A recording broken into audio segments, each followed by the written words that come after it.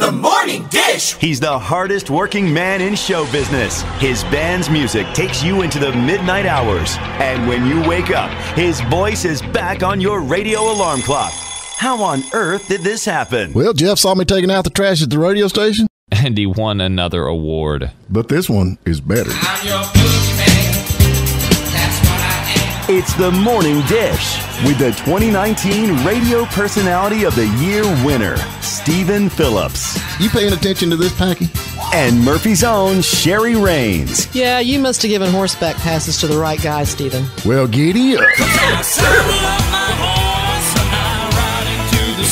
And Packy Smith's Shetland pony is right alongside. You guys know these demo tapes don't just edit themselves together, right? Well, all right. Three cheers for Steven Phillips. Y'all need to help Steven Phillips out over there. Out the door and off the radio. Here's Steven Phillips. Right. Always in Texas with us this morning, man. It's cold out here. What's the weather like in Texas? Is it warm out there? It actually is. I, when we left Georgia, it was pretty cold. We left yesterday around lunchtime, and I still had a jacket on. But here, it's uh, it's actually pretty nice. It's supposed to be about seventy five out here today. Oh man, that's gonna be nice. I'm excited. I'm tickled to death because you're a Georgia boy right here, not far from where we're at, down in Jasper, Georgia, growing up there, and now you're all the way in Texas. You got a big show tonight. What's the deal tonight? Yeah, well, the NFR is going on out here, uh, and we're actually playing Fort Worth Live. It's a venue that actually had, had closed down, kind of iconic place, but um, there's a promoter that opens it back up during uh, during the NFR and, and doing some shows and stuff for my buddy uh, Josh Ward, Cody Johnson, a couple other Texas artists and stuff that are uh, involved in it. But yeah, we uh, pretty much Texas is like my second home per se. Uh, I I found a place where they like real country music still outside of Georgia, so Hey, we man, come I- out here quite hey, there's often. there's worse places you could be. I'm from Texas, so I love it out here. the rodeo's great too. I mean, the music out in Texas right now is rocking and rolling. I keep telling everybody nobody's going to Nashville anymore. Everybody's going to Texas, you know, because of all the music that's coming out there, you know, the Randy Rogers band and all that kind of stuff. And now you're out there with it, so I think that's great. I love some of your songs. You got one, "Practice What I Preach." Yes, sir. That's a cool tune. Yeah, I wrote that about my uncle. He's uh I guess what we'd call a little bit of an outlaw, you know, and uh he uh he's just kind of a unique feller. He he pretty much could have his own sitcom if anybody from Hollywood ever seen him. It's kind of like having your own real life Uncle Si or something. Right.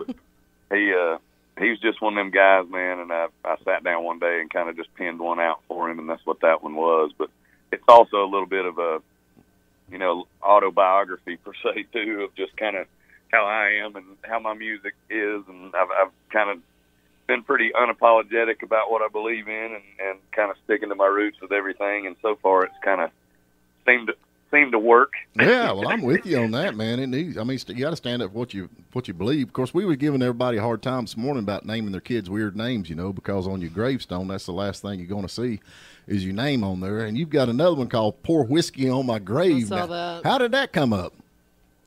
That one, um, that's actually one of those where I, I kick myself daily for not writing it myself. Um, I was playing a, a writers round in Nashville, and uh, a guy named Jamie Grooms was a guy that was in the round with me, and uh, he went off into that song, and the, the first line of the tune is, "When I'm gone, don't bring me pretty flowers, don't sit and cry for me at my tombstone." Well, you know, and of course, the title of the song being "Pour Whiskey on My Grave." After my mom passed away in 2010, I always go over to her grave on her birthday and like New Year's, the day she passed away, and Right. pour a beer out and sit there and drink a beer with her or whatever, because she was, you know, more like my best friend slash beer drinking buddy than she was my mom later when I got a little older, you know. But Right. um, that particular song, like I said, I, I kicked myself for not writing it because it was something I actually did already, you know. Right. So the, the, the second he broke off into the song, I kind of, kind of knew right then that it was like, man, this song was wrote for me, and I don't know how I'm gonna get it, but I'm gonna get it. So I, I told my, told my manager, I said, I don't care what you got to do, but find out how to get the licensing on this song, and actually kind of going back to you mentioned practice what I preach. Me and Jamie, the guy that wrote that song, ended up becoming really good buddies, and me and Jamie actually wrote practice what I preach and Right. multiple other ones since then um, that ended up on that record, and even on this new record we're working on, Jamie is probably on I don't know seven or eight of those too. So Well, now, it's uh, it, it, it started a lifelong friendship, but it also gave me a track that is something that I can live, you know, on on the yearly for sure. Well, I love it. I'm all about country music. That's the thing about it. Now, this new pop stuff, I just can't get behind. Hic, what do you call it? Hic- Hickok. hiccup, Hickok. hiccup. I We, can, yeah, we, we we call it crap country rap. there you go. That's what it is. But now I can tell from your voice that you're a high tenor. I guess you sing high tenor.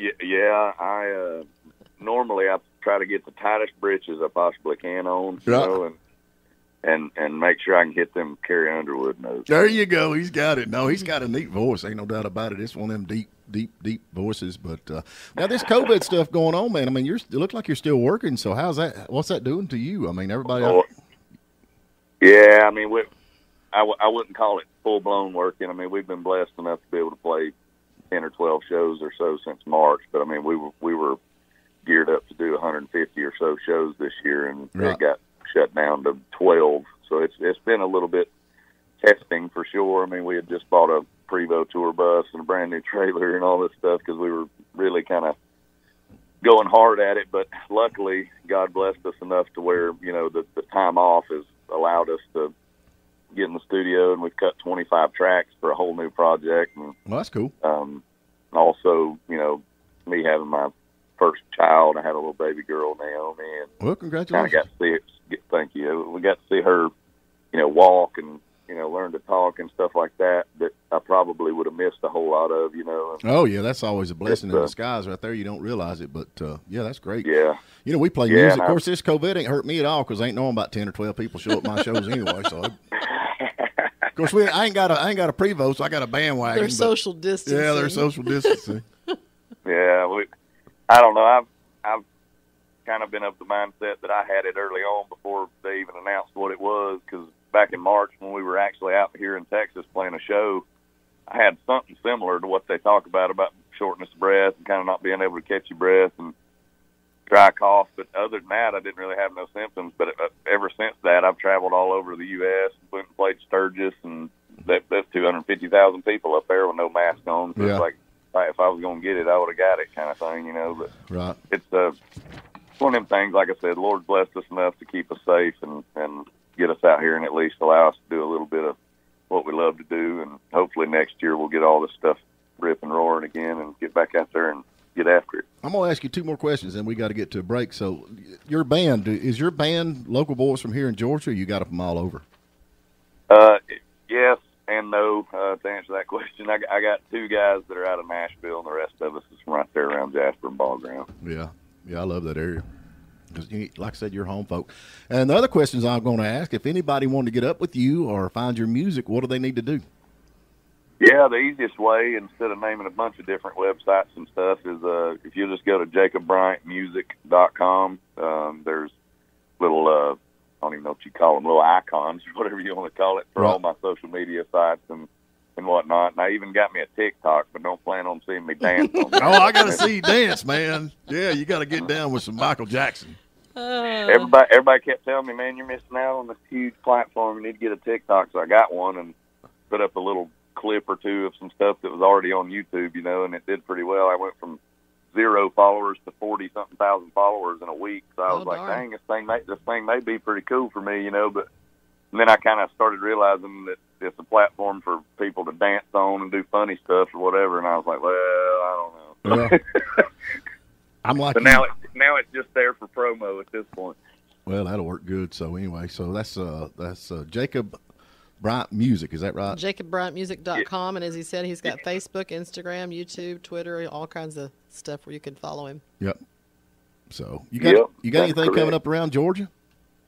Uh, actually, I'm flying home tonight, and we're playing in Woodstock, Georgia, uh, Oh. tomorrow at uh, Mad Life Staging Studios. Oh, I've been there. I played there a couple times. That's a cool. That's a cool venue. Yeah, we're doing a, a little Nashville songwriters, uh, like writers round, like I was talking about with Jamie. But Oh, yeah. um, guy named Joel Shoemake that wrote that tune "This Side of Sober" I have. He's he's coming down to do that with me, and we're just gonna sit on some bar stools and make it old school and do it acoustic. I love that. Unfortunately, my poor band's got to ride the bus all the way back to Texas, but we're gonna we're gonna fly in. there you go.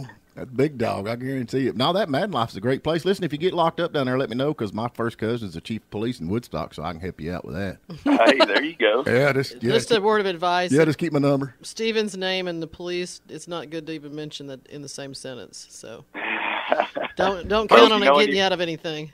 If you know anybody in East Ellijay, let me know because I just moved to Ellijay from Jasper and I don't really know anybody up there. Well, just come on, hang out with us. Let me ask you something. When you hear when the cops holler freeze, do you run like me or do you stand there? I was about to say freeze. In my opinion, my mama used to say it meant stop or go pick a hickory, one of the two. Yeah, I just take off running like a wild man. I'm like gone. So anyway. Well, listen, man, we appreciate you calling in. Ain't no doubt about it. We'll be looking for your music, and folks, go check him out because uh, he is a homeboy, local boy right here, and he's making it big, and he is going to be the next and big deal. And you heard it right here on the morning dish, man. I appreciate you calling. Go back to bed. Hey, thank y'all for having me. I, I went to bed at about five o'clock Central Time and woke back up to do this, but I appreciate y'all having me on, and I am going to snore a little while and wake back up, get back after it, play a show, get on an airplane, and I'll be back over yon way here soon. All right, we'll see. Us- we know what that is, yon way. So anyway, Yon way. thank you, Thanks, man. We appreciate it. Thank you, guys. Folks, don't forget you can listen online anywhere in the world at WJULradio.com. That is WJULradio.com. Or you can listen live at Lake 97.7 WJUL. And don't forget, we're going to be uploading this to the uh, YouTube channel and our Facebook page. So just go to the Morning Dish. You can listen to the show again and uh, give us a like and give us a share. We appreciate it.